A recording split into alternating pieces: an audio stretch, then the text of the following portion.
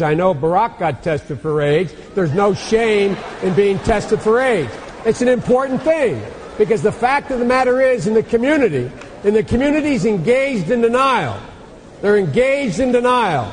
No one wants to talk about it in the community, and we do not have enough leaders in the community and outside the community demanding we face the reality, confront the men in the community, as well as the women, letting them know Senator. there are alternatives. Thank you.